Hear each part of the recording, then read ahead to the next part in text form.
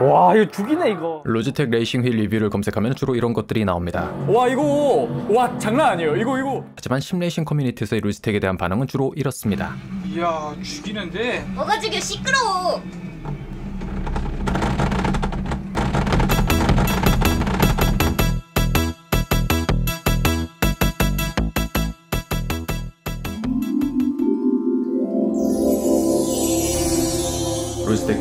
sim racing 보급에 가장 큰 영향을 주었습니다. sim racing 하는 분들 상당수가 로지텍을 경험하셨을 것이고 로지텍에 대한 애정을 가지고 계실 거예요. 아니 할배 그게 언제적 얘기야 윙맨이 2000년대에 나왔고 드라이빙 포스가 2007년, G27이 2010년이요 로지텍의 전성기는 딱 G27까지야 어, 거기다가 그나마 접근 가능한 가격대였기 때문에 국내에서 가장 많이 팔린 제품군입니다. 가격대는 트러스트 마스터하고 비슷해요 G29 처음 나왔을 때 T300이랑 같은 가격이라서 욕먹은 거 몰라? 그냥 생긴 게 그럴듯해갖고 사람들이 사는 거지 뭐 어, 그래도 정말 많은 분들이 이제 즐겁게 사용하고 계신 제품이기 때문에 안 써봤으니까 그렇지 어, 잘 사용하시는 분들이 계신데 이거를 또 별로라고 하면 이제 기분이 나쁘잖아요. 아니 그럼 이거 좋다고 하면 sim racing 하는 사람들한테 욕먹을 거 아니야? 어, 그래도 재질상 같은 가격의 트러스트 마스터 제품과 비교하면 좀 좋은 부분이 있죠. 아니 이 사람아 간이 안 좋아서 얼굴 시꺼매지고 황달이 온 사람한테 비비크림 발라주겠다고? 지금 제품 구조가 G27부터 사실상 하나도 안 바뀌고 그대로야 겉에만 2021년이고 속은 2000년이요 속이 아주 썩었어 아주 그냥 다른 제품들 다 벨트 방식이라서 피드백도 정교하고 소음도 좋고 그렇게 10년이 지날 동안 계속 기어 방식으로 달달달달거리면서 배짱도 좋지 사람들이 계속 사주니까 호구로 보이나? 무슨 기어 성애자요? 손에 손 잡고 깍지를 끼고 돌고 돌고 영원히 도는 기어 느르르르르르. 우리한테 벨트가 필요 없어요. 깍지를 끼고 꽉 잡고 있으면 되는 거지. 난 알론소 불쌍해 죽겠어. 그냥 광고 보고서 오그라들어 죽는 줄 알았어. 알론소 지몸류 아주 그냥.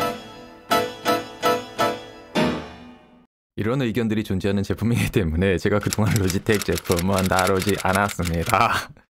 말 한마디 한마디가 굉장히 부담스러운 제품이에요. 다수가 사용하는 제품이기 때문이죠. 로지텍 제품은 아주 못 쓸 물건은 아닙니다. 어찌 보면 로지텍 제품이 레이싱 휠을 처음 접하는 분들에게는 이질감이 덜할 수도 있어요. T300급 이상부터는 비교적 작은 force feedback들도 휠 중앙에서 민감하게 반응하기 때문에 이런 제품들을 사용 안 해보신 분들은 이런 민감성이 어, 내 차는 이렇지 않은데? 라는 느낌을 만들 수도 있거든요. 하지만 로지텍 제품은 force feedback이 비교적 약하고 중앙 부분에서 미세한 움직임이 좀 적기 때문에 오히려 처음 하시는 분들에게는 적응이 수월한 면이 있습니다. 이런 양면성이 있다는 것을 전제하고 진짜로 시작해 보겠습니다. 저도 이제 살아야죠. 자, G923은 G29의 후속 기종입니다. 보시는 바와 같이 겉으로는 뭐가 달라진지 모르겠어요. 그냥 돌려봐도 전형적인 helical 기어 방식의 느낌이 그대로입니다. 뭐 하는 거야? 하지만 개선된 부분이 있습니다. 세 가지가 있는데요. force feedback dead zone, 페달, 그리고 대망의 TrueForce이죠. G29까지는 센터에 force feedback dead zone이라는 게 있었습니다. 운전대 중앙 부분에서 force feedback이 없는 느낌입니다. 굉장히 허당 느낌이라고 할까요? 이 부분이 굉장히 단점이라고 할 수 있었거든요. 그런데 G923에서는 이것이 해결이 된 것 같습니다. 센터 부분에서 피드백이 있어요. 많은 사람들의 요구에도 불구하고 이거 해결하는데 정말 오래 걸렸지만은 어쨌든 10년 만에 해냈습니다. 자, 두 번째는 페달 부분인데 정확하게는 브레이크 페달 이야기입니다. 페달이 좋아졌습니다. 좋아진 것 같습니다. 아, 좋아졌다고 하는 게 맞는 것 같아요. 그런 느낌입니다. 페달은 똑같잖아요 페달 페달은 어? 안에 고무가 빠졌는데요? 고무가 빠졌는데요?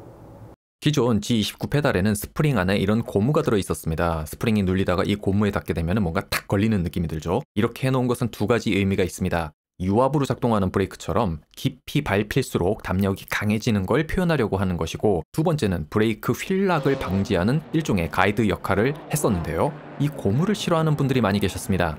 왜 그러냐면은 G29를 이렇게 견고한 거치대에 사용하시는 분들이 비교적 적기 때문입니다. 대체로 입문자분들이 간이 거치대에서 사용하는 경우가 많고 심지어는 그냥 바닥에 놓고 사용하는 분들도 많이 계셨기 때문에 이 고무로 인해 full brake를 밟기가 쉽지가 않았을 겁니다. 그런 분들은 또 이것을 밟았을 때 뭔가 갑자기 탁 걸리는 듯한 느낌을 이제 싫어하는 분들이 많이 계셨을 것 같습니다. 그런데 G923의 페달은 이 고무를 빼버리고 이렇게 압력이 가변적인 스프링을 사용하고 있습니다. 그래서 초반에 가볍게 들어가다가 full brake에 가까워질수록 압력이 세집니다. load cell이 아닌 potentiometer를 사용하는 페달치고 느낌이 아주 좋은 편입니다. 자, 세 번째 개선점이라기보다는 뭐 추가된 기능입니다. 바로 TrueForce입니다.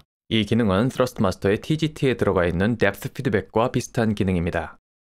레이싱 휠이 만들어내는 진동은 대체로 운전대가 좌우로 움직이면서 만들어내는 흔들림에 가깝습니다. 그리고 그 흔들림은 타이어와 노면과의 관계에서 만들어지고 이것은 게임의 물리에서 나옵니다. 그렇다 보니 우리가 자동차를 탔을 때 느끼는 엔진 진동 같은 것들은 레이싱 휠에서 느끼기가 힘들었습니다. 그래서 생각해낸 방식이 게임의 오디오 신호를 이용해서 진동을 발생시키는 것입니다.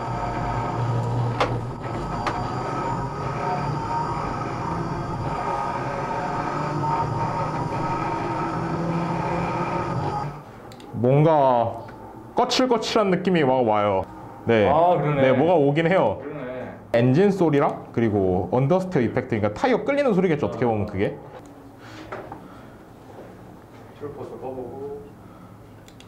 와, 엄청 밋밋해졌어요. 근데 TrueForce가 약간 운전하는 맛은 올려주는 것 같거든요. 왜냐면 이럴 때 음. 뭐 지금 완전히 미동도 없는 아. 뭐 아세 원래 원래 이렇게 했던 거잖아요. 우리 그 네, 어떻게 보면은 네. 79로. 확실히 양념이 확실히 들어가요. 이걸 키면 순돌님의 말씀처럼 이 기능은 상당히 좋은 기능입니다. 있다가 없으면 되게 심심해요. 그런데 예전에 제가 TGT 리뷰에서 말한 것과 마찬가지로 이 기능의 관건은 과연 게임들이 이 기능을 지원해 주느냐 아니냐입니다. TGT는 오로지 그란투리스모 스포츠에서만 이런 기능을 지원했고 G923은 현재 아세토 코르사 컴페티치오네 아이레이싱, 그리드, 그란투리스모 스포츠 이 4개의 게임에서 만 TrueForce 기능을 지원합니다. 좋은 기능을 넣어놨지만 지원되는 게임이 현재 4개밖에 없어요. 이렇게 지원되는 게임이 너무 적다라는 게 큰 단점입니다. 거기다가 제가 사용을 해보니까 이 TrueForce 진동이 너무 약해요. 오로지 아이레이싱에서만 좀 강하다는 느낌이 들고 아세토 코르사 컴페티치오네에서는 좀 약하다는 느낌이 들었습니다. 어쨌든 분명한 거는 TrueForce 기능이 있으면은 정말 그 순돌님이 말씀하신 것처럼 양념이 돼요. 더 느낌이 좋은 건 사실입니다. 그러니까 이게 G19만 오래 오래 써오던 사람들한테는 모르겠어요. 이게 조금 미세한 차이가 있을 수도 있는데 지금 생각해보면 우리가 지금 쓰고 있는 네. 장비들이 그렇죠. 얘네끼리 있는 그 미세한 차이를 느낄 네, 우리가 맞아요. 그런 장비를 쓰고 있지 않다 보니 조금 약간 우리한테는 의, 혹시나 차이가 있다 하더라도 기존 G29랑 네. 우리한테는 뭐 의미가 없는 맞아요. 차이. 의미 없는 차이. 네, 전체적으로 G923에 대한 총평을 하자면은 자 어차피 제가 뭐라고 해도 로지텍 제품들은 보편적으로 인기가 많습니다. 그래서 이제 두 가지 측면으로 볼게요. 아쉬운 점은 이놈의 그 helical 기어 방식을 그냥 그대로 고수하고 있다는 것입니다. 그래서 force feedback이 벨트 방식보다 뭔가 좀 정교하지 않다라는 느낌이 들고 드르륵거리는 소음은 그로 인해서도 필연적입니다.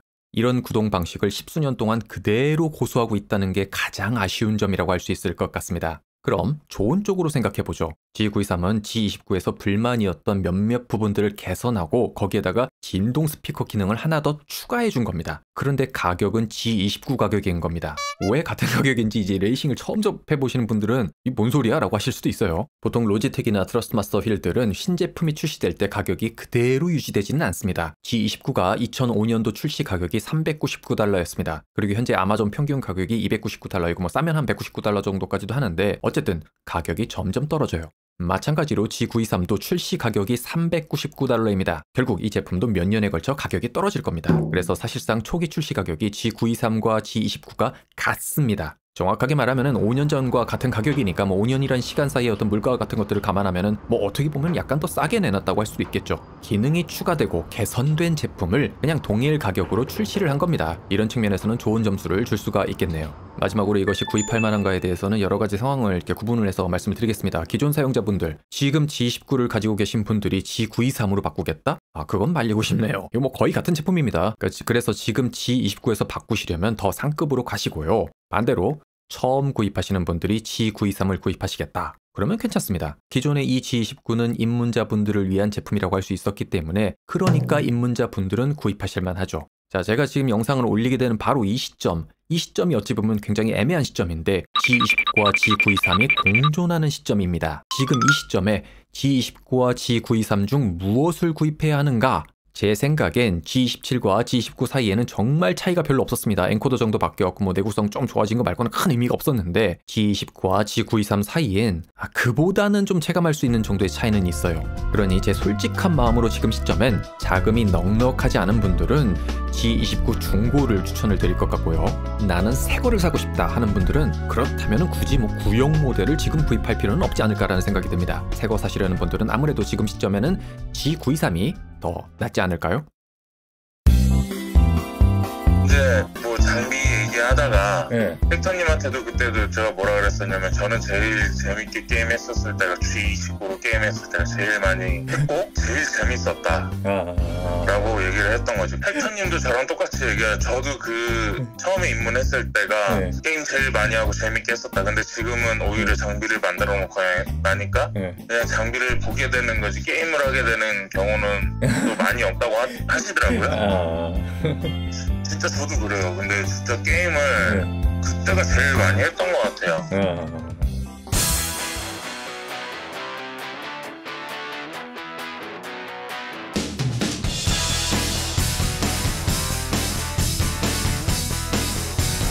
Three left, I think five right, also four right, take two over.